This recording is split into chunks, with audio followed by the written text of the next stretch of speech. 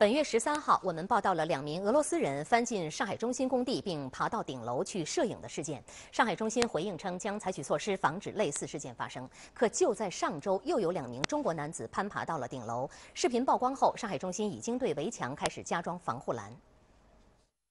在这段名为“中国九零后攀登上海中心大厦”的视频中，两名穿戴严实的男子翻入工地后，通过楼梯爬上了楼顶。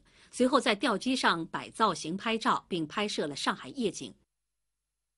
看这里的冰，像利刀一样。随后两人躲在大楼通风管中度过一夜。次日白天又拍摄了一组俯瞰画面返回。